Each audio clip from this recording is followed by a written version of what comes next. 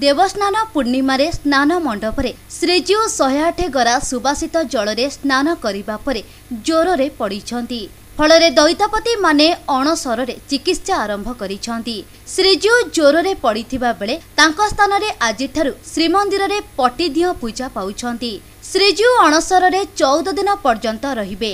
ଏହି ସମୟରେ ଶ୍ରଦ୍ଧାଳୁମାନେ ମହାପ୍ରଭୁଙ୍କ ରୂପରେ ବ୍ରହ୍ମଗିରି ସ୍ଥିତ ଅଲାରନାଥଙ୍କୁ ଦର୍ଶନ କରିଥାନ୍ତି। ହେଲେ ଚଳିତ ବର୍ଷ କରୋନା କଟକଣା ଯୋଗୁଁ ଉକ୍ତ ପୀଠରେ ପ୍ରଶାସନ ପକ୍ଷରୁ ଶହେ ଚଉରାଳିଶ ଧାରା ଜାରି କରାଯାଇଛି। ତା ସହିତ ଭକ୍ତମାନଙ୍କ ଦର୍ଶନକୁ ଆସନ୍ତା ତିରିଶ ତାରିଖ ପର୍ଯ୍ୟନ୍ତ ସମ୍ପୂର୍ଣ୍ଣ ଭାବେ ବାରଣ କରାଯାଇଛି। ଫଳରେ ଭକ୍ତମାନେ ଚଳିତ ବର୍ଷ ଅନବସର ଦର୍ଶନରୁ ବଞ୍ଚିତ ରହିଛନ୍ତି। ଅନ୍ୟପକ୍ଷରେ କେବଳ ପରମ୍ପରା ଅନୁଯାୟୀ ମନ୍ଦିରରେ ଅନବସର ନୀତି ସମ୍ପାଦନ ହେଉଥିବା ବେଳେ ଭକ୍ତ ଶୂନ୍ୟ ହୋଇପଡ଼ିଛି ଅଲାରନାଥ ପୀଠ। ବିଶେଷ ଭାବେ ଏହି ସମୟରେ ଅଲାରନାଥଙ୍କ କ୍ଷୀରି ଟିକେ ପାଇବା ଲାଗି ବର୍ଷ ସାରା ଚାତକ ଭଳି ଚାହିଁ ରହିଥାନ୍ତି ଭକ୍ତ। ହେଲେ ଚଳିତ ବର୍ଷ ସେହି କ୍ଷୀରି ପାଇବାରୁ ବଞ୍ଚିତ ହେବେ ଲକ୍ଷ ଲକ୍ଷ ଶ୍ରଦ୍ଧାଳୁ। ଶ୍ରୀବିଗ୍ରହ ମାନେ ଅତ୍ୟାଧିକ ସ୍ନାନ ହେତୁ ମହାପ୍ରଭୁଙ୍କୁ ହେଇଛି ଜ୍ୱର। ତ ଅନ୍ୟପଟେ ମହାପ୍ରଭୁ ଅଣସର ନୀତିରେ ଥିବାବେଳେ ତ ଦର୍ଶନ ପାଉନାହାନ୍ତି ଭକ୍ତ। ତ ଏହା ଅନ୍ୟପଟେ ଖୋଲା ହେଇଛି ଶ୍ରୀ ଅଲାନାଥଙ୍କ ମନ୍ଦିର। ତ ମହାପ୍ରଭୁଙ୍କ ଯେତେବେଳେ ଦର୍ଶନ ନ ପାଆନ୍ତି ଭକ୍ତମାନେ ତ ମହା ସମସ୍ତ ଭକ୍ତମାନେ ଆସନ୍ତି ଏଇଠିକି ଶ୍ରୀମନ୍ଦିର ଶ୍ରୀମନ୍ଦିର ଛାଡ଼ି ଆସନ୍ତି ଅଲାନାଥ ମନ୍ଦିର ଯାହାକି ବ୍ରହ୍ମଗିରି ଠାରେ ଉପସ୍ଥିତ।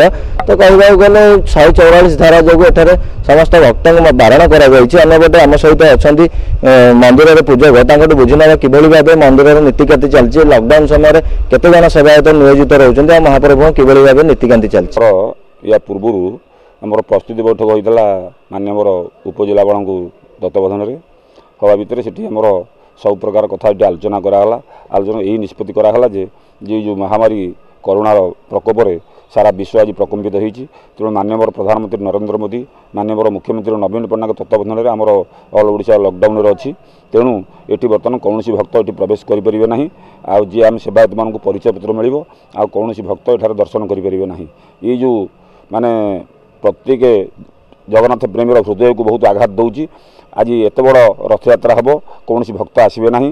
ଏଇ ଯେଉଁ ରଥଯାତ୍ରା ଆମର ଯେଉଁ ଆରମ୍ଭ ହୋଇଛି କେଉଁ ଯୁଗରୁ ଆରମ୍ଭ ହୋଇଛି ରଥଯାତ୍ରା? ତାପରେ ରଥଯାତ୍ରାଟି ଆମର ଇତିହାସ କହୁଛି ବହୁତ ଥର ବି ରଥଯାତ୍ରା ବି ବନ୍ଦ ହୋଇଯାଇଛି। ନୀତି ଆମର ରାତି ଚାରିଟାରୁ ଦୁଆର ଫିଟା ଯାଇ ମଙ୍ଗଳ ଆଳତି ବଢ଼ି ତଡ଼ବ ଲାଗି ହେଲେ ମହାପ୍ରଭୁ ତାପରେ ଅବକାଶ ନୀତି ସରିଲା ପରେ ବଲ୍ଲଭ ଉଠିଲା। ଏଇନେ ସାଢ଼େ ବାରଟା ସମୟରେ ମହାପ୍ରଭୁଙ୍କର ସକାଳ ଧୂପ ହେବ। ସାଢ଼େ ଗୋଟେ ସମୟରେ ମହାପ୍ରଭୁଙ୍କର ଦ୍ୱିପହର ଧୂପ ବା କ୍ଷୀରି ଧୂପ ହେବ।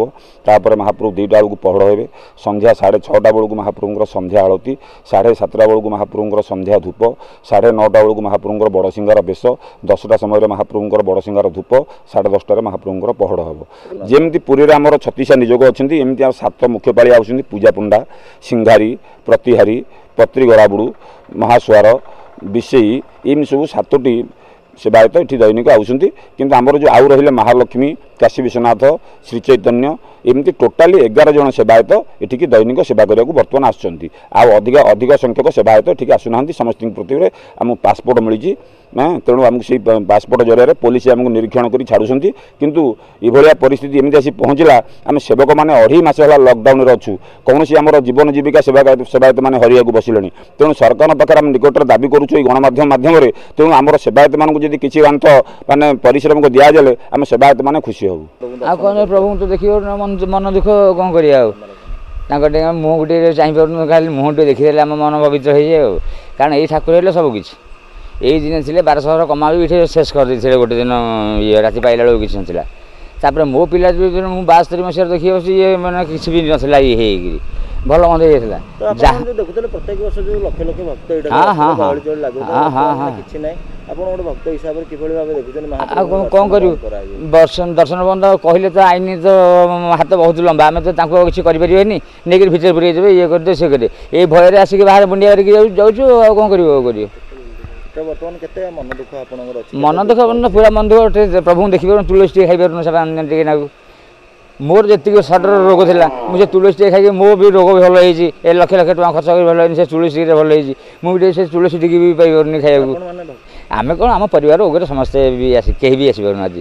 ସକାଳୁ ପିଲାମାନେ ଆସୁଥିଲେ ସେମାନେ ଆସିକି ଭୋରୁ ସୂର୍ଯ୍ୟ ଉଦୟ ନେବା ପୂର୍ବରୁ ଟିକେ ଦର୍ଶନ କରି ପଳାଉଥିଲେ। ତାଇ ବି ସେମାନେ ବି ଦେଖି ଦେଖିପାରୁନାହାନ୍ତି ଯେ ଇଏ କରିକି ଇଏ କରିକି ବର୍ତ୍ତମାନ କରୋନାର ଯେଉଁ ଉପସ୍ଥିତିରେ କରୋନାର ଉପସ୍ଥିତିରେ ଲୋକମାନଙ୍କ ଯେଉଁ ହାହାକାର ସେ ହାହାକାରକୁ ଆଗରେ ରଖି ପ୍ରଶାସନ ଏଠି ଯେଉଁ ଶହେ ଚଉରାଅଶୀ ଧାରା କଲେ ଲୋକମାନେ ଯେଉଁ ବାହାରୁ ଲୋକମାନେ ଆସିଛନ୍ତି ସେମାନଙ୍କ ସଂସ୍ପର୍ଶରେ ଆସିଲେ ଏ ରୋଗର ବୃଦ୍ଧି ହେବାର କାରଣ ଅଛି ବୋଲି ସେମାନେ ଜାଣିପାରିକିରି ଏଠି ଶହେ ଚଉରାଅଶୀ କରାହେଲା। ଲୋକମାନେ ତ ଅସନ୍ତୁଷ୍ଟ। ଅସନ୍ତୁଷ୍ଟ ହେଲେ ବି ରୋଗକୁ ରଖିବା ପାଇଁ ଏହି ଗୋଟିଏ ମାତ୍ର ପ୍ରୟାସ। ତେଣୁ ଭକ୍ତମାନେ ବି ବିଚଳିତ ହେଉଛନ୍ତି। ବିଚଳିତ ହେଲେ କ'ଣ ହେବ? ପ୍ରଶାସନର ନୀତି ଅନୁସାରେ ପୁଣି ମାନିବାକୁ ପଡ଼ିବ। ଏ କରୋନାର ପ୍ରଭାବରୁ ରକ୍ଷା ପାଇବା ପାଇଁ ଏହି କେବଳ ଗୋଟିଏ ମାତ୍ର ରାସ୍ତା। ତେଣୁ ବର୍ତ୍ତମାନ ଆମେ ସବୁ ଅସନ୍ତୁଷ୍ଟ। ଯେହେତୁ ପ୍ରଭୁଙ୍କୁ ଦର୍ଶନ କରିପାରିଲୁନୁ। ଆଜି ଏଡ଼େ ବଡ଼ ଦିନ। ସବୁ ପ୍ରତିବର୍ଷ ଏଠିକି ଲକ୍ଷ ଲକ୍ଷ ଲୋକ ଏଠିକି ଯାତାୟାତ କରନ୍ତି। ବର୍ତ୍ତମାନ ଏଠି ଖାଁ ଖାଁ ଲାଗୁଛି। ଏ ଯେଉଁ ଅବସ୍ଥା ଭକ୍ତମାନଙ୍କର ପୁରା ଉଦ୍ବେଗ ପ୍ରକାଶ କରୁଛନ୍ତି। ତ ଆପଣମାନେ ଦେଖୁଥିଲେ ଆମେ ମନ୍ଦିର ପୂଜକଙ୍କଠୁ ବୁଝୁଥିଲୁ ଯେ ମହାପ୍ରଭୁଙ୍କ ସୀମିତ ସେବାୟତଙ୍କ ଦ୍ୱାରା ସମସ୍ତ ନୀତିକାନ୍ତି କରାଯାଇଛି। ସମସ୍ତ ସେବାୟତଙ୍କର ଆଇ କାର୍ଡ ବ୍ୟବସ୍ଥା କରାଯାଇଛି ମଧ୍ୟ। ଅନ୍ୟପଟେ ରହିଛି ଯେଉଁ ଚଉ- ଶହେ ଚଉରାଳିଶ ଧାରା ଜାରି ହେଇଛି ଏଠାକୁ କୌଣସି ଭକ୍ତ ଆସୁନାହାନ୍ତି ମହାପ୍ରଭୁଙ୍କ ଦର୍ଶନ ମଧ୍ୟ କରିପାରୁନାହାନ୍ତି। ତ ସେପଟେ ଶ୍ରୀମନ୍ଦିରରେ ମହାପ୍ରଭୁଙ୍କ ଯା- ଯେଉଁ ଚତୁର୍ଥ ବିଗ୍ରହ ବଦଳରେ ପ- ପଟି ଦିଅ ବର୍ତ୍ତମାନ ପୂଜା ପାଉଛନ୍ତି ତ ମହାପ୍ରଭୁଙ୍କୁ ଦର୍ଶନ ନ ମିଳିବାରୁ ଲକ୍ଷ ଲକ୍ଷ ଭକ୍ତ ପ୍ରତ୍ୟେକ ବର୍ଷ ଆସନ୍ତି ଏଠାକୁ ଅଲାନାଥ ମହାପ୍ରଭୁଙ୍କୁ ଦର୍ଶନ କରିବାକୁ। କଥାରେ ଅଛି ମହାପ୍ରଭୁଙ୍କୁ ବର୍ଷକ ଯାକ ଦର୍ଶନ ଶ୍ରୀମନ୍ଦିରରେ କରିବା ଯାହା ଗୋଟିଏ ଦିନ ମହାପ୍ରଭୁଙ୍କୁ ଅଲାନାଥ ମନ୍ଦିରରେ ଦର୍ଶନ କରିବା ସେୟା। ତ ଏପଟେ ଭାଗ ଦେଖିବାକୁ ଗଲେ ଯେଉଁ ଶହେ ଚଉରାଳିଶ ଧାରାକୁ ସମସ୍ତ ବ୍ରହ୍ମଗିରିବାସୀ ହୁଅନ୍ତୁ ସମସ୍ତ ଜଗନ୍ନାଥ ପ୍ରେମୀ ହୁଅନ୍ତୁ ସମସ୍ତେ ସମର୍ଥନ କରିଛନ୍ତି। କେହି ମଧ୍ୟ ଏଠାକୁ ଆସୁନାହାନ୍ତି। ଯେଉଁମାନେ ଭକ୍ତ ଆସୁଛନ୍ତି ବହୁତ ଦୂରରୁ ମଧ୍ୟ ଏଠାର ସ୍ଥାନୀୟ ବାସିନ୍ଦା ମହାପ୍ରଭୁଙ୍କୁ ସ୍ମରଣ କରି ଲୁହ ଝରେଇ ଯାଉଛନ୍ତି କାରଣ ସେମାନେ ପ୍ରତ୍ୟେକ ବର୍ଷ ଅପେକ୍ଷା କରିଥାନ୍ତି କିଭଳି ଭାବେ ମହାପ୍ରଭୁଙ୍କୁ ଦର୍ଶନ କରିବେ। ତ ମହାପ୍ରଭୁଙ୍କ ଏହି ପ- ଦିବ୍ୟ ଦର୍ଶନରୁ ବଞ୍ଚିତ ହେଉଥିବାର ଭକ୍ତଟିଏ ବହୁତ ଦୁଃଖରେ ଫେରି ଯାଉଛି। କାରଣ ମହାପ୍ରଭୁଙ୍କୁ ଶ୍ରୀମନ୍ଦିର ନ ଯାଇ ପାରିଲେ ମଧ୍ୟ ବର୍ଷକୁ ଥରେ ଏଠାକୁ ଆସି ମହାପ୍ରଭୁଙ୍କ ଦର୍ଶନ କରିଥାନ୍ତି ଅଲାନାଥଙ୍କର ତ ଯେଉଁ ପ୍ରସିଦ୍ଧ କ୍ଷୀରି ରହିଛି ମହାପ୍ରଭୁଙ୍କର ଅଲାନାଥ କ୍ଷୀରି ତାହା ମଧ୍ୟ ଭକ୍ତ ଆସୁନଥିବାରୁ ରନ୍ଧା ଯାଉନି। ତ ଯାହା ବି ରନ୍ଧା ଯାଉଛି ସବୁ ମହାପ୍ରଭୁଙ୍କ ନୀତିକାନ୍ତି ସକାଶୁ ମଧ୍ୟ ଏଠାରେ ମଧ୍ୟ ଅନ୍ନପ୍ରସାଦ ମଧ୍ୟ ରନ୍ଧା ଯାଉନି। କାରଣ ଯେତିକି ମଧ୍ୟ ହେଉଛି ମହାପ୍ରଭୁଙ୍କ ନୀତିକାନ୍ତି ପାଇଁ ହେଉଛି ତ ସୀମିତ ସେବାୟତଙ୍କ ମଧ୍ୟରେ ମଧ୍ୟ ସମସ୍ତ ନୀତିକାନ୍ତି ସମ୍ପନ୍ନ କରାଯାଉଛି। ବ୍ରହ୍ମପୁରରୁ ଭିଡ଼ିଓ ଜର୍ଣ୍ଣାଲିଷ୍ଟ ଦିବ୍ୟରଞ୍ଜନଙ୍କ ସହ ପିଣ୍ଟୁ ସାହୁ ପ୍ରୟାସ ଟିଭି। ବେଗୁନିଆପଡ଼ା ବ୍ଲକ ଶିଶୁ ବିକାଶ ପ୍ରକଳ୍ପ କାର୍ଯ୍ୟାଳୟ ତରଫରୁ ସିଡିପିଓ ସନ୍ଧ୍ୟାରାଣୀ ପାଣିଗ୍ରାହୀଙ୍କ ଆହ୍ୱାନ କ୍ରମେ ମିଶନ ଶକ୍ତି କୋଭିଡ ନାଇଣ୍ଟିନ୍ର ସୁରକ୍ଷା ଓ ସଚେତନ ନିମନ୍ତେ ଅଙ୍ଗନବାଡି ଓ ସ୍ୱୟଂସିଦ୍ଧାମାନଙ୍କୁ ନେଇ ଆମ ସ୍ୱାସ୍ଥ୍ୟ ଆମ ଦାୟିତ୍ୱ ପ୍ରଶିକ୍ଷଣ ଶିବିର ଅନୁଷ୍ଠିତ ହୋଇଯାଇଛି। ବିଶ୍ୱ ମହାମାରୀ କରୋନା ଭାଇରସ ଦିନକୁ ଦିନ ଉଗ୍ର ରୂପ ନେବାରେ ଲାଗିଛି ଓଡ଼ିଶା ରାଜ୍ୟ ଗଞ୍ଜାମ ଜିଲ୍ଲାରେ ସବୁଠୁ ଅଧିକ ସଂକ୍ରମିତ ହେବାରେ ଲାଗିଛି ଏଥିଲାଗି ଗଞ୍ଜାମ ଜିଲ୍ଲା ପ୍ରଶାସନ ଆରମ୍ଭ କରିଛନ୍ତି ଆମ ସ୍ୱାସ୍ଥ୍ୟ ଆମ ଦାୟିତ୍ୱ ବିଡିଓ ବେଦବର ପ୍ରଧାନଙ୍କ ସଭାପତିତ୍ୱରେ ଅନୁଷ୍ଠିତ ଏହି ତାଲିମ ଶିବିରରେ ଲୋକେ ଯେମିତି ଏହି କିଲର ମହାମାରୀ କରୋନା ଦାଉରୁ ନିଜକୁ ଓ ନିଜ ପରିବାରକୁ ସୁରକ୍ଷା ଦେଇପାରିବେ ଓ ସଚେତନ ରହିବେ ସେଥି ନିମନ୍ତେ ପ୍ରତ୍ୟେକ ପଞ୍ଚାୟତରେ କେମିତି ସଚେତନ ରହିବେ ଏବଂ କରୋନା ଭୂତାଣୁକୁ କେମିତି ମୁକାବିଲା କରିବେ ତାହା ଉପରେ ଆଲୋଚନା କରି ଉପସ୍ଥିତ ସ୍ୱେଚ୍ଛାସେବୀ ଅଙ୍ଗନବାଡି କର୍ମୀ ଆଶା କର୍ମୀ ଶିକ୍ଷକମାନେ ଓ ମିଶନ ଶକ୍ତିର କର୍ମୀ ସ୍ୱୟଂ ସହାୟକ ଗୋଷ୍ଠୀର ମାମାନଙ୍କୁ ବୁଝାଇ ତାଲିମ ପ୍ରଦାନ କରିଥିଲେ। ପ୍ରତ୍ୟେକ ପଞ୍ଚାୟତ ପାଇଁ ଆଶା ଦିଦି ଅଙ୍ଗନବାଡି କର୍ମୀ ଶିକ୍ଷକ ମହିଳା ଗ୍ରୁପ ଗ୍ରାମ ଭଲେଣ୍ଟିୟର ଏମିତି କରି ଚାଳିଶ ଜଣିଆ ଗ୍ରୁପ ଯାଇ ଲୋକଙ୍କୁ ସଚେତନ କରିବାକୁ ନିଷ୍ପତ୍ତି ନିଆଯାଇଥିଲା। ଆଗାମୀ ଦିନରେ କେମିତି ସମସ୍ତେ ସଚେତନ ରହିବେ ତାହା ଉପରେ ଆଲୋଚନା କରାଯାଇଥିଲା। ଏହି ତାଲିମ ଶିବିରରେ ଅନ୍ୟମାନଙ୍କ ମଧ୍ୟରେ ବିଓ ବିପିସି ମେଡିକାଲ କର୍ମଚାରୀ ବିପିଓ ଶିକ୍ଷକ ଶିକ୍ଷୟିତ୍ରୀ ଅଙ୍ଗନବାଡି ସୁପରଭାଇଜର ପ୍ରମୁଖ ଉପସ୍ଥିତ ଥିଲେ। ଧରାକୋଟରୁ ଅଶେଷ କୁମାର ପାତ୍ରଙ୍କ report Amrit TV Digapahandi block Bhramarpur panchayat Dol Gopinathpur ଗ୍ରାମ ନିକଟ ଚଟିଆ ନାଳ ନିକଟରେ ଶନିବାର ଅପରାହ୍ନ ପ୍ରାୟ ସାଢ଼େ ପାଞ୍ଚଟାରେ ବଜ୍ରାଘାତରେ ନଅଟି ଗାଈ ମୃତ୍ୟୁବରଣ କରିଛନ୍ତି। ଗୁରୁତର ଆହତ ଅବସ୍ଥାରେ ଗୋଟିଏ ଗାଈକୁ ଚିକିତ୍ସା ଚାଲିଥିବା ବେଳେ ଗୋପୀନାଥପୁର ଗ୍ରାମର ଗାଈ ମାଲିକ ତଥା ଚାଷୀ ପୂର୍ଣ୍ଣ ନାୟକ ଅଳ୍ପକେ ବର୍ତ୍ତି ଯାଇଥିବା ଖବର ମିଳିଛି। ସବୁଦିନ ଭଳି ଶନିବାର ସକାଳେ ପୂର୍ଣ୍ଣ ତାଙ୍କ ଗାଈ ଗୋଠକୁ ଚରାଇବାକୁ ନେଇଥିଲେ। ଅପରାହ୍ନରେ ଆକସ୍ମିକ ବର୍ଷା ଓ ବାରମ୍ବାର ବଜ୍ରପାତ କାରଣରୁ ପୂର୍ଣ୍ଣ ଗାଈ ଗୋଠକୁ ନିକଟସ୍ଥ ଏକ ବରଗଛ ତଳେ ରଖି ସେ ନିକଟସ୍ଥ ଅନ୍ୟ ଏକ ଗଛ ତଳେ ଆଶ୍ରୟ ନେଇଥିଲେ। ଗାଈଗୋଠ ଥିବା ଗଛ ତଳେ ବଜ୍ରପାତ ହେବାରୁ ନଅଟି ଗାଈ ଘଟଣାସ୍ଥଳରେ ମୃତ୍ୟୁବରଣ କରିଥିବା ବେଳେ ଗୋଟିଏ ଗାଈ ଗୁରୁତର ଆହତ ହୋଇଥିବା ଜଣାପଡ଼ିଛି। ଖବର ପାଇ ପୂର୍ଣ୍ଣଙ୍କ ସମ୍ପର୍କୀୟ ଓ ବହୁ ସଂଖ୍ୟକ ଗ୍ରାମବାସୀ ଘଟଣାସ୍ଥଳରେ ପହଞ୍ଚିଥିଲେ। ଦିଗପହଣ୍ଡି ତହସିଲଦାର ଅଦ୍ୱିତ କୁମାର ସ୍ୱାଇଁଙ୍କ ନିର୍ଦ୍ଦେଶ କ୍ରମେ ଭ୍ରମରପୁର ସର୍କଲର ରାଜସ୍ୱ ନିରୀକ୍ଷକ ସନାତନ ରଣା ଗାଁରେ ପହଞ୍ଚି ସବିଶେଷ ତଦନ୍ତ କରି ଫେରିଥିବା ଜଣାପଡ଼ିଛି। ଗରିବ ଅସହାୟ ଚାଷୀ ପୂର୍ଣ୍ଣଙ୍କୁ ସରକାରୀ କ୍ଷତିପୂରଣ ପ୍ରଦାନ ପାଇଁ ସାମାଜିକ କର୍ମୀ ସୁଶାନ୍ତ କୁମାର ଷଡ଼ଙ୍ଗୀ ଦାବି କରିଛନ୍ତି। ଧରାକୋଟରୁ ଅଶେଷ କୁମାର ପାତ୍ରଙ୍କ report Amrit TV. Cyclone Amphan ସମୟରେ ଓଡ଼ିଶାର ଛଅ ଜିଲ୍ଲାରେ ହାମ୍ ରେଡିଓ ଅପରେଟରମାନେ ବାତ୍ୟା ସମୟରେ ସମସ୍ତେ ସଜାଗ ରହି ସମସ୍ତ ପରିସ୍ଥିତି ଉପରେ ନଜର ରଖିବା ସହ ଜନସାଧାରଣଙ୍କୁ ବାତ୍ୟା ବିଷୟରେ ସଠିକ୍ ଅପଡେଟ୍ ପ୍ରଦାନ କରୁଥିଲେ। ଏହି ବିପର୍ଯ୍ୟୟ ସମୟରେ ନିରବଚ୍ଛିନ୍ନ ଭାବେ ସେବା ଯୋଗାଇଥିବାରୁ ଓଷ୍ଟାମ୍ ପକ୍ଷରୁ ଭୁବନେଶ୍ୱର ରାଜୀବ ଭବନଠାରେ ହାମ୍ ଷ୍ଟୁଡିଓ ଅପରେଟରମାନଙ୍କ ପ୍ରତିନିଧିମାନଙ୍କୁ ସମ୍ବର୍ଦ୍ଧିତ କରାଯାଇଥିଲା। ଏହି କାର୍ଯ୍ୟକ୍ରମକୁ ଓଷ୍ଟାମ୍ର ଜିଏମ୍ ଅରବିନ୍ଦ ରାୟ ପରିଚାଳନା କରିବା ସହ Odisha ham radio operator Debashish Mishra Gurudatta Panda Rajanikanta Mishra Umakanta Swain CS Pattnaik Omkar Panda ପ୍ରମୁଖ ସହଯୋଗ କରିଥିଲେ। ନିରାଶ୍ରୟଙ୍କ ମୁହଁରେ ହସ ଫୁଟାଇଲେ ହିମାଂଶୁ। ତାଲାବନ୍ଦ ଦେଉଛି ଅନେକ ଦୁଃଖ। କାମ ଧନ୍ଦା ଠପ୍ ଚାଷୀ କୂଳ ବି ବନ୍ଦ। ଏଥିଯୋଗୁଁ ଅନେକ ପରିବାର ଭୋକ ଉପବାସରେ ହନ୍ତସନ୍ତ ହେଉଛନ୍ତି। ସରକାର କରିଥିବା ଯୋଜନା ବା କେତେ ଦିନ? ସେତକ ବି ସରିଗଲାଣି। ଅପେକ୍ଷାରେ ଅନେକ ନିରାଶ୍ରୟ। କେବେ ଖୋଲିବ ତାଲାବନ୍ଦ? ମିଳିବ କିଛି କାମଧନ୍ଦା। ଏମିତି ଅପେକ୍ଷାରେ ଜଣେ ଅସହାୟ ବୃଦ୍ଧା। ଆମେ କହୁଛୁ ଧର୍ମଶାଳା ନିର୍ବାଚନ ମଣ୍ଡଳୀ ରସୁଲପୁର ବ୍ଲକ ରାହାମା ଗ୍ରାମ ପଞ୍ଚାୟତ କୋଳଥର ଗ୍ରାମର ନିରାଶ୍ରୟ ଝାଟୁଆ ନାଥ ଓ ସ୍ୱାମୀ ଭିକାରୀ ନାଥ। ଏମାନଙ୍କ ଦୁଃଖ ନ କହିବା ହିଁ ଭଲ। ବହୁତ ଦୁଃଖ କଷ୍ଟରେ ଦିନ କାଟୁଥିବା ବେଳେ ଆଜି ଧର୍ମଶାଳାର ଅଗ୍ରିମ ସ୍ୱେଚ୍ଛାସେବୀ ସଂଗଠନ ଅଂଶୁମାନ ମେମୋରିଆଲ ଟ୍ରଷ୍ଟର ସମ୍ପାଦକ ହିମାଂଶୁ ଶେଖର ସାହୁ ପହଞ୍ଚି କିଛି ଚାଉଳ ଡାଲି ବିସ୍କୁଟ ଚୁଡ଼ା ଓ ଚିନି ପ୍ରଦାନ କରିବା ସହିତ ନିରାଶ୍ରୟ ରହୁଥିବା ଘରଟିକୁ ବୁଲି ଦେଖିଥିଲେ। ଅପେକ୍ଷାରେ ଥିବା ନିରାଶ୍ରୟ ବୃଦ୍ଧା କିଛି ସାହାଯ୍ୟ ପାଇବା ପରେ ବହୁତ ଖୁସି ହେଇଯାଆନ୍ତି ହିମାଂଶୁଙ୍କ ଉପରେ। କୁହନ୍ତି ମୋ ପୁଅ ଲିକୁ ବାବା ମୋତେ ସାହାଯ୍ୟ କଲୁ ତୋର ମଙ୍ଗଳ ହେଉ। ଏମିତି ଅନେକ କିଛି ଏହି ଅସହାୟ ଦୁଃଖ ବିଷୟରେ ପ୍ରଥମେ ଆମ ପ୍ରୟାସ ଟିଭି ଚ୍ୟାନେଲ ମାଧ୍ୟମରେ ପ୍ରସାରଣ ହେବା ପରେ ଏବେ ସର୍ବପ୍ରଥମେ ଅଂଶୁମାନ ମେମୋରିଆଲ ଟ୍ରଷ୍ଟର ସମ୍ପାଦକ ହିମାଂଶୁ ଶେଖର ସାହୁ ସାହାଯ୍ୟର ହାତ ବଢ଼ାଇଥିଲେ। ଯାଜପୁରରୁ ସତ୍ୟରଞ୍ଜନ ପାଢ଼ୀଙ୍କ ରିପୋର୍ଟ ଅମୃତ ଟିଭି ଲିକୁ ବାବା ମୋ ପୁଅ ଲିକୁ ବାବା ଆସିଥିଲା। ଆଉ ମୋତେ ସାହାଯ୍ୟ କରିକି ଯାଇଛି ସବୁ ଜିନିଷ ଖାଇବାକୁ ଦେଇ ଯାଇଛି ହେଲା ନା? ବୌଦ୍ଧ ଆଦର୍ଶ ଥାନା ପକ୍ଷରୁ ପଥଚାରୀଙ୍କ ପାଇଁ ସହରର ମହାନଦୀ ବ୍ରିଜ ଛକଠାରେ ଏକ ଜଳ ଛତ୍ର ଖୋଲାଯାଇଛି। କରୋନା କଟକଣା ଯୋଗୁଁ ବିଭିନ୍ନ ଦୋକାନ ଠିକ୍ ଭାବେ ଖୋଲୁନଥିବାରୁ ପଥଚାରୀମାନେ ପାଣି ପାଇଁ ବହୁ ହଇରାଣ ହେଉଥିଲେ।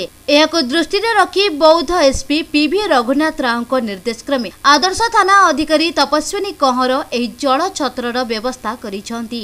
ଏହାର ଶୁଭାରମ୍ଭ ହେବା ମାତ୍ରେ ଥାନା ଅଧିକାରୀ ଯାତାୟାତ କରୁଥିବା ଲୋକମାନଙ୍କୁ ପାନୀୟ ଜଳ ବଣ୍ଟନ କରିଥିଲେ।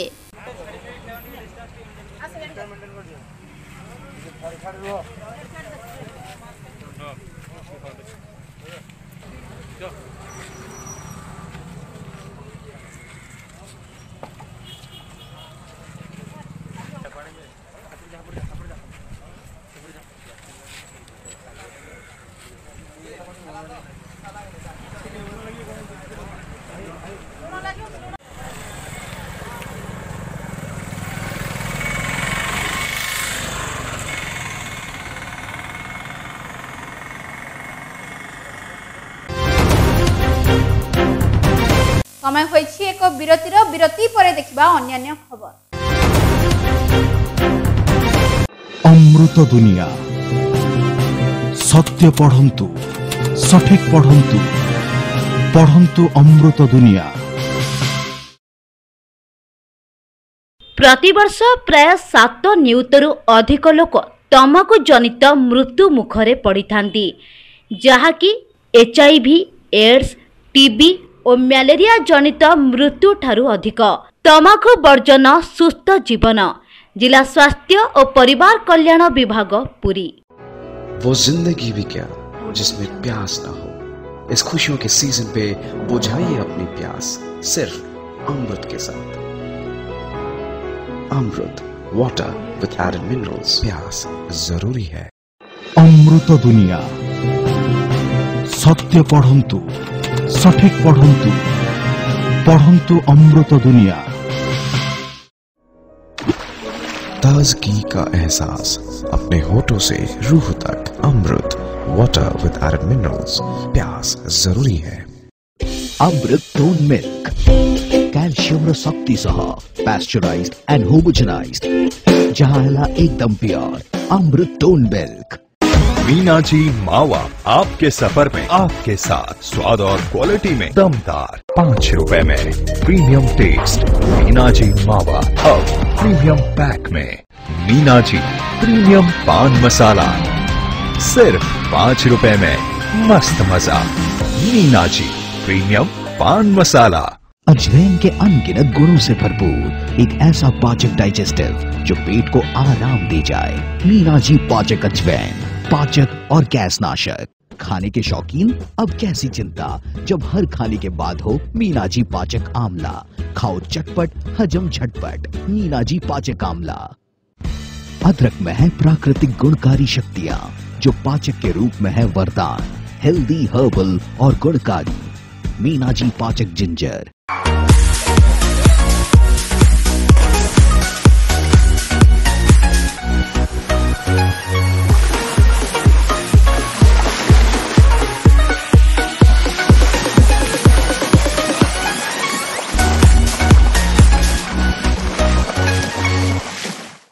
ଅମୃତ ଦୁନିଆ ସତ୍ୟ ପଢ଼ନ୍ତୁ ସଠିକ ପଢ଼ନ୍ତୁ ପଢ଼ନ୍ତୁ ଅମୃତ ଦୁନିଆ ବିରତି ପରେ ଆପଣମାନଙ୍କୁ ଆଉଥରେ ସ୍ୱାଗତ କରୋନା ମହାମାରୀକୁ ଗୁରୁତର ସହ ନେଇ ଗୋଷ୍ଠୀ ସଂକ୍ରମଣ ବଢ଼ିବା ଆଶଙ୍କାକୁ ଦୃଷ୍ଟିରେ ରଖି ରାଜ୍ୟ ସରକାର ଏଗାରଟି ଜିଲ୍ଲାକୁ ଜୁନ୍ ମାସର ଶନିବାର ଓ ରବିବାର ଦୁଇଦିନିଆ ସଟ୍ଡାଉନ୍ର ନିର୍ଦ୍ଦେଶ ଦେଇଛନ୍ତି। ରାଜ୍ୟ ସରକାରଙ୍କର ଏହି ନିୟମକୁ କଡ଼ାକଡ଼ି ଭାବେ ପାଳନ କରିବାକୁ ଜିଲ୍ଲା ପ୍ରଶାସନ ନିର୍ଦ୍ଦେଶ ଦେଇଛି ଏହି ପରିପ୍ରେକ୍ଷୀରେ ଆଜି କୋଦଳା ପ୍ରଶାସନ ତଥା ତହସିଲଦାର ପ୍ରଭାତ କୁମାର ପରିଡ଼ାଙ୍କ ନିର୍ଦ୍ଦେଶ କ୍ରମେ କୋଦଳା ଓ ବେଗୁନିଆପଡ଼ା ଅଞ୍ଚଳ ସମ୍ପୂର୍ଣ୍ଣ ବନ୍ଦ ହୋଇଛି।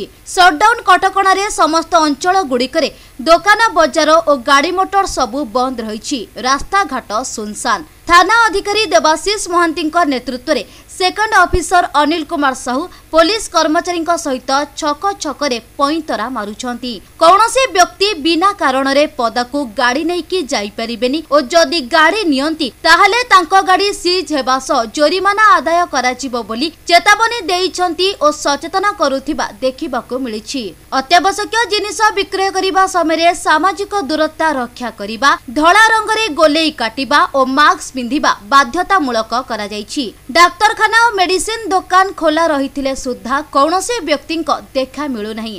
ସଟ୍ଡାଉନ୍ ସତ୍ତ୍ୱେ ଏନ୍ଏସି ନିର୍ବାହୀ ଅଧିକାରୀ ସୁଜିତ କୁମାର ଚୌଧୁରୀଙ୍କ ନିର୍ଦ୍ଦେଶରେ ସମସ୍ତ ସଫେଇ କର୍ମଚାରୀ ସମସ୍ତ ସଂଗରୋଧ କେନ୍ଦ୍ରଗୁଡ଼ିକୁ ସାନିଟାଇଜ କରାଯାଉଥିବା ଦେଖିବାକୁ ମିଳିଛି। ଧରାକୋଟରୁ ଅଶେଷ କୁମାର ପାତ୍ରଙ୍କ ରିପୋର୍ଟ ଅମୃତ ଟିଭି। କରୋନା ସାରା ବିଶ୍ୱକୁ ମହାମାରୀ ରୂପେ ଗ୍ରାସ କରିଥିବା ବେଳେ ବର୍ତ୍ତମାନ ସୁଦ୍ଧା ଏହାର ପ୍ରତିଷେଧକ ବାହାରି ନଥିବାରୁ ସାରା ବିଶ୍ୱ ଏବଂ ଦେଶ ପାଇଁ ଚିନ୍ତାର କାରଣ ପାଲଟିଛି। କରୋନା ସଂକ୍ରମଣରୁ ରକ୍ଷା ପାଇବା ଲାଗି କେନ୍ଦ୍ର ଏବଂ ରାଜ୍ୟ ସରକାର ଭିନ୍ନ ଭିନ୍ନ ମାଧ୍ୟମରେ ଜନସାଧାରଣଙ୍କୁ ସଚେତନ କରାଉଛନ୍ତି। ଅନ୍ୟପଟେ ସଂକ୍ରମଣର ସଂଖ୍ୟା ଦିନକୁ ଦିନ ବୃଦ୍ଧି ବଢିବାରୁ କେନ୍ଦ୍ର ଏବଂ ରାଜ୍ୟ ସରକାର ବିଭିନ୍ନ ଗାଇଡଲାଇନ ପ୍ରଚଳନ କରିଛନ୍ତି। ଓଡ଼ିଶାରେ ପ୍ରବାସୀ ଓଡ଼ିଆମାନେ ଫେରୁଥିବାରୁ ରାଜ୍ୟରେ ସଂକ୍ରମଣ ଆଶଙ୍କା ଥିବାରୁ ଓଡ଼ିଶା ସରକାର ଏଗାରଟି ଜିଲ୍ଲାକୁ ସାପ୍ତାହିକ ଦୁଇ ଦିନ ଶନି ଏବଂ ରବିବାର ଦିନ ଏହି ଏଗାରଟି ଜିଲ୍ଲାରେ ସଟ୍ଡାଉନ୍ ଘୋଷଣା କରିଛନ୍ତି। ଆଜି ହେଉଛି ସଟ୍ଡାଉନ୍ର ଦ୍ୱିତୀୟ ଦିନ। ପୁରୀ ସହରବାସୀ ଏହି ସଟ୍ଡାଉନ୍କୁ ସମ୍ପୂର୍ଣ୍ଣ ସମର୍ଥନ କରୁଥିବା ବେଳେ ସମସ୍ତ ଦୋକାନ ବଜାର ମଧ୍ୟ ବନ୍ଦ ଥିଲା। ମାତ୍ର ଔଷଧ ଦୋକାନ ଏବଂ ପେଟ୍ରୋଲ ଟାଙ୍କି ଏବଂ କିଛି ଅତ୍ୟାବଶ୍ୟକୀୟ ସାମଗ୍ରୀ ଦୋକାନକୁ ଛାଡ଼ିଦେଲେ ଅନ୍ୟ ସମସ୍ତ ଦୋକାନ ବଜାର ବନ୍ଦ ଥିଲା ଏବଂ ପୁରୀ ସହର ସମ୍ପୂର୍ଣ୍ଣ ଖାଁ ଖାଁ ଲାଗୁଥିବାର ଦୃଶ୍ୟ ଦେଖିବାକୁ ମିଳିଥିଲା। ସାରା ବିଶ୍ୱ ଆଜି କରୋନା ମହାମାରୀର ଆତଙ୍କରେ ଆତଙ୍କିତ ଥିବାବେଳେ ଜୀବନ ଓ ଜୀବିକାକୁ ନେଇ ଯୁଦ୍ଧ କରୁଛି ଏହି ମାନବ ସମାଜ। ନିଜ ଜୀବନକୁ ସୁରକ୍ଷା ମନେକରି ଫେରିବାକୁ ଚାହୁଁଛି ତା ପରିବାର ପାଖକୁ। ଆମେ ବିଗତ କିଛି ଦିନ ହେବ ଦେଖୁଛୁ ଅନେକ ପ୍ରବାସୀ ଓଡ଼ିଆଙ୍କୁ କିଏ ପାଦରେ ଚାଲି ଚାଲି ତ କିଏ ହଜାର ହଜାର ମାଇଲ ସାଇକେଲରେ ଫେରୁଥିବା ବେଳେ ଅନେକ ପ୍ରବାସୀ ମାଲବାହୀ ଟ୍ରକ୍ ଉପରେ ଜୀବନକୁ ବାଜି ଲଗାଇ ଫେରି ଆସିଛନ୍ତି ନିଜ ଭିଟା ମାଟିକୁ। ଏପରି ଏକ ଘଟଣା ଦେଖିବାକୁ ମିଳିଛି ଯାଜପୁର ଜିଲ୍ଲା ଧର୍ମଶାଳାରେ। ଏହି ବ୍ଲକର ପାଞ୍ଚ ଜଣ ଓ କଟକ ଜିଲ୍ଲାର ପାଞ୍ଚ ଜଣ ଯୁବତୀ ଆନ୍ଧ୍ରପ୍ରଦେଶର ସୁଲୁରପେଟା ଚାରିଶହ କିଲୋମିଟର ଏକ କ୍ୟାବ୍ ସହ ବିଜୟୱାଡା ରେଳ ଷ୍ଟେସନରେ ଓଡ଼ିଶାକୁ ଟ୍ରେନ୍ ଯାଉଥିବାର ଖବର ପାଇ ଟ୍ରେନ୍ ଟିକେଟ୍ କରି ପହଞ୍ଚିବା ପରେ ଟ୍ରେନ୍ ଷ୍ଟେସନ ଛାଡ଼ି ଦେଇଥିଲା। ଫଳରେ ସେଠାରେ ଦଶ ଜଣ ଯୁବତୀ ବିଚଳିତ ହୋଇଯାଇଥିଲେ। ଯିବେ କୁଆଡେ କରିବେ କଣ କେମିତି ଫେରିବେ ନିଜ ଘରକୁ? ଏମିତି ଅନେକ ପ୍ରଶ୍ନରେ ସମସ୍ତ ପ୍ରବାସୀ ଓଡ଼ିଆ ଯୁବତୀ ଏହା ଭିତରେ ଷ୍ଟେସନ ମାଷ୍ଟର ସେଠାକାର ପୋଲିସକୁ ବି ଗୁହାରି କରିଥିଲେ। କିନ୍ତୁ ସେମାନେ କେହି ଶୁଣିନଥିଲେ। କିନ୍ତୁ କିଛି ସମୟ ପରେ ସେଠାକାର ଜଣେ ବନ୍ଧୁଙ୍କୁ ସବୁ ଜଣାଇବା ପରେ ସେ ଏକ ସୁରକ୍ଷିତ ସ୍ଥାନକୁ ନେଇଯାଇଥିଲେ। ଏମାନେ ସେଠି ନିଜକୁ ଅସୁରକ୍ଷିତ ମନେକରି ଷ୍ଟେସନକୁ ଫେରି ଆସିଥିଲେ। ଅନ୍ଧାକାର ରାତିରେ ଷ୍ଟେସନ ଭିତରେ କିଛି ନ ଖାଇ ନ ପିଇ ଦୀର୍ଘ ଦୁଇ ଦିନ ବିତିଯିବା ପରେ ଯୁବତୀମାନେ ଭାଙ୍ଗି ପଡ଼ିଥିଲେ। ସେମାନଙ୍କ ମଧ୍ୟରୁ କିଛି ଯୁବତୀ ହଠାତ୍ ଫେସବୁକ୍ ପେଜ୍ରୁ ଧର୍ମଶାଳା ଅଗ୍ରିମ ସ୍ୱେଚ୍ଛାସେବୀ ସଂଗଠନ କୁହାଯାଉଥିବା ଅଂଶୁମାନ ମେମୋରିଆଲ ଟ୍ରଷ୍ଟ ବିଷୟରେ ଜାଣିବାକୁ ପାଇଥିଲେ ଏବଂ ଟ୍ରଷ୍ଟର ମେମ୍ବର ମାନଙ୍କୁ କଲ୍ କରି ଅସୁବିଧା ବିଷୟରେ ଜଣାଇବା ପରେ ଟ୍ରଷ୍ଟର ଅଧ୍ୟକ୍ଷ ହିମାଂଶୁ ଶେଖର ସାହୁ ସେଠାରେ ତାଙ୍କ ବନ୍ଧୁଙ୍କ ସହ ଯୋଗାଯୋଗ କରିଥିଲେ ଏବଂ ସେହି ବନ୍ଧୁଙ୍କ ସହାୟତାରେ କିଛି ଖାଦ୍ୟ ନେଇ ଷ୍ଟେସନରେ ଥିବା ଯୁବତୀମାନଙ୍କୁ ଦେବା ସହିତ ଏକ ଗାଡ଼ି ଠିକ୍ କରି ସୁରକ୍ଷିତ ସହ ଓଡ଼ିଶା ପହଞ୍ଚାଇବାକୁ ସହଯୋଗ କରିଥିଲେ। ଏବଂ ଓଡ଼ିଶାରେ ପହଞ୍ଚିବା ପର୍ଯ୍ୟନ୍ତ ଯୁବତୀମାନଙ୍କ ସହିତ ଫୋନ୍ ମାଧ୍ୟମରେ ଟିକନିକ୍ ଖବର ରଖିଥାନ୍ତି ହିମାଂଶୁ ଏବଂ ଶେଷରେ ଯୁବତୀମାନେ ତାଙ୍କ ନିଜ ଘରେ ପହଞ୍ଚିଥିଲେ। ହିମାଂଶୁ ଶେଖର ସାହୁଙ୍କ ଏଭଳି ମହାନ କାର୍ଯ୍ୟକୁ ଯାଜପୁର ଜିଲ୍ଲାର ଅନେକ ବୁଦ୍ଧିଜୀବୀ ମହଲରୁ ଶୁଭେଚ୍ଛାର ସୁଅ ଛୁଟିଛି।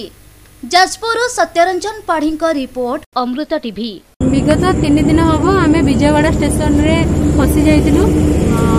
ସେଠାକାର ସେଠାକାର ନା ପ୍ରଶାସନ ନା ପୋଲିସ ନା ରେଲୱେ ଷ୍ଟେସନର କର୍ତ୍ତୃ ବିଭାଗ ମାନେ କେହି ଆମକୁ ସାହାଯ୍ୟ କରିନଥିଲେ କି ଆମକୁ ଓଡ଼ିଶା ଆସିବା ପାଇଁ କିଛି ବି କନଫର୍ମେସନ ଟିକେଟ୍ ବି ଦେଇନଥିଲେ ତିନି ଦିନ ହେବ ଆମେ ଷ୍ଟେସନରେ ରହିଯାଇଥିଲୁ କିଛି ବି ସାହାଯ୍ୟ ଆମକୁ ମିଳିନଥିଲା ତେଣୁ ଆମେ ଫେସବୁକ୍ରୁ ଅଂଶୁମାନ ଟ୍ରଷ୍ଟର ନମ୍ବର ଆଣି ଅଂଶୁମାନ ଟ୍ରଷ୍ଟର ମେମ୍ବରମାନଙ୍କୁ କଲ୍ କରି ଆମର ଅସୁବିଧାକୁ ଜଣେଇଲୁ ଜଣେଇଲା ପରେ ଅଂଶୁମାନ ଟ୍ରଷ୍ଟର ମେମ୍ବରମାନେ ଆମକୁ ସାହାଯ୍ୟ କଲେ ଆଉ ସେଠିକାର ସିକ୍ୟୁରଲି ରହିବା ଓ ଆସିବା ପର୍ଯ୍ୟନ୍ତର ସବୁ ସବୁ କିଛି ଦାୟିତ୍ୱ ବହନ କରି ଆମକୁ ଆଣି ଓଡ଼ିଶାରେ ପହଞ୍ଚାଇ ଦେଲେ। ଆଉ ଆମେ ଆସିକି ଓଡ଼ିଶାରେ ସୁରକ୍ଷିତରେ ପହଞ୍ଚିଗଲୁ। ମୁଁ ଧନ୍ୟବାଦ ଦେବି ଅଂଶୁମାନ ଟ୍ରଷ୍ଟର ମେମ୍ବରମାନଙ୍କୁ ଓ ଅଂଶୁମାନ ଟ୍ରଷ୍ଟର ମୁଖ୍ୟ ହିମାଂଶୁ ଶେଖର ଭାଇଙ୍କୁ। ଧନ୍ୟବାଦ ଅଂଶୁମାନ ଟ୍ରଷ୍ଟ ଧନ୍ୟବାଦ ଲିକୁ ଭାଇ। ନମସ୍କାର ହିମାଂଶୁ ଶେଖର ସାହୁ ଅଂଶୁମାନ ମେମୋରିଆଲ ଟ୍ରଷ୍ଟ ଧର୍ମଶାଳା। ହାଇଦ୍ରାବାଦରେ ବିଗତ ଦୁଇ ତିନି ଦିନ ହେବ ଧର୍ମଶାଳା ଏବଂ କଟକର ପ୍ରାୟ ଦଶ ଜଣ ଝିଅ ଯେଉଁମାନେ କି ସେଠି ହାଇଦ୍ରାବାଦରେ ଚାକିରି କରିଥିଲେ ସେମାନେ ଏଇ ଟ୍ରେନ୍ ଚାଲିଲା ପରଠୁ ସେମାନେ ଟ୍ରେନ୍ ଟିକେଟ୍ କାଟିକି ହାଇଦ୍ରାବାଦରୁ ଓଡ଼ିଶା ଆସିବା ପାଇଁ ପ୍ରୟାସ କରିଥିଲେ ଏବଂ ସେ ପ୍ରୟାସରେ ସେମାନେ ହାଇଦ୍ରାବାଦରୁ ବିଜୟୱାଡ଼ା ପର୍ଯ୍ୟନ୍ତ ବହୁତ କଷ୍ଟରେ କିଛି କ୍ୟାବ୍ ମାଧ୍ୟମରେ ବସ୍ ମାଧ୍ୟମରେ ଆସି ପହଞ୍ଚିଥିଲେ। ପହଞ୍ଚିବା ପରେ ସେମାନଙ୍କର ଟିକେଟ୍ଟା ଦେଖିଥିଲେ ଯେ କନଫର୍ମ ହୋଇପାରିଲାନି। ସେଠାରେ ସେମାନେ ସେ ଷ୍ଟେସନର ଟିଟି ଯିଏ ଅଛନ୍ତି ଆଉ ପୋଲିସ ତାଙ୍କୁ ବହୁତ ରିକ୍ୱେଷ୍ଟ କରିଥିଲେ ରାତି ଆଠଟା ହେଇଯାଇଥିଲେ କି ଆମକୁ କିଛି ରହିବା ପାଇଁ କିଛି ବ୍ୟବସ୍ଥା କରନ୍ତୁ ନହେଲେ କରନ୍ତୁ। ସେମାନେ ରାତି ସାରା ଷ୍ଟେସନ ବାହାରେ ପଡି ଯାଇଥିଲେ କିଛି ବି ସାହାଯ୍ୟ ପାଇନଥିଲେ। ଏବଂ ତାପରେ ସେମାନେ ସକାଳେ ଯାଇକି ବହୁତ କଷ୍ଟରେ ତାଙ୍କର ଜଣଙ୍କ ବନ୍ଧୁ ମାଧ୍ୟମ ଦ୍ୱାରା କୋଉ ଗୋଟେ ଜାଗାରୁ ଯାଇକି ସେଠାରେ ରହିବା ପାଇଁ ବ୍ୟବସ୍ଥା ହେଇଥିଲା ସେଠି ବି ସେମାନେ ହରାସ ହେଇଯାଇଥିଲେ। ସେମାନେ ପୁଣି ଆସି ସନ୍ଧ୍ୟାବେଳେ ପହଞ୍ଚି ସେଠି ଷ୍ଟେସନ ପାଖରେ ପୁଣି ନିରାଶ ହୋଇ ବସି ଆମକୁ ଯୋଗାଯୋଗ କରିଥିଲେ। ଯୋଗାଯୋଗ କଲା ପରେ ମୁଁ ତାଙ୍କୁ ସେଠି ଭାଇଜାଗରେ ଥିବା ବିଜୟୱାଡ଼ାରେ ଥିବା କିଛି ବନ୍ଧୁମାନଙ୍କୁ ପଠାଇ ସେଠି ସେମାନେ ସେଠୁ କେମିତି ରେସ୍କ୍ୟୁ ହୋଇପାରିବେ ସେମାନଙ୍କର ଖାଦ୍ୟପେୟ ଦୁଇ ଦିନ ହେଲା ସେମାନେ କିଛି ଖାଦ୍ୟପେୟ ନ ନେଇଥିବାରୁ ସେମାନଙ୍କୁ ଖାଦ୍ୟପେୟ ବ୍ୟବସ୍ଥା କରି ସେମାନଙ୍କୁ ଗାଡ଼ିରେ ଅଣାଇ ଓଡ଼ିଶାରେ ସେମାନଙ୍କୁ କାଲି ରାତିରେ ପହଞ୍ଚାଗଲା। ବର୍ତ୍ତମାନ ପାଇଁ ଖବର ଏତିକି। ଆସନ୍ତାକାଲି ଠିକ୍ ଏହି ସମୟରେ ଏହି ଚ୍ୟାନେଲରେ ପୁଣି ଥରେ ଦେଖା ହେବ। ରହୁଛି ନମସ୍କାର।